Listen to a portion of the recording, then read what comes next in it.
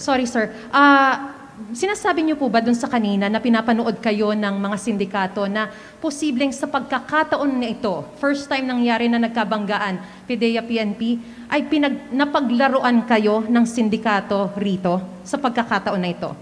Before, napaglaruan na kami. Dito sa, sa insidente ito. ito, hindi pa namin pwede sabihin naglaro sila dito sa amin. Kaya nga kasi iniimbestigahan namin ito. Iniimbestigahan nga natin. Kaya hindi pa nga masyadong maaga para sabihin natin pinaglaruan agad tayo.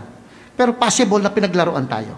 Pero yun ang focus of this investigation. Lahat na ng aspect yan. On the rules of engagement, on the proper coordination, on after firefight. Kasi marami, marami dapat mabago talagang nagkasugat-sugat ang mga tao natin dito that they are thinking that they are doing legitimate operation. Kaya nga nalulungkot kami dahil nagpakamatay yung mga tao natin thinking that they are doing the, the right job. They are doing the right thing. And both of them are. At ito nga ang inaalay namin sa kanila na makuha ang katotohanan para yung pagkamatay nila ay hindi na ilagay sa walang katuturan. Inaalay namin ito sa mga namatay at sa mga nasugatan.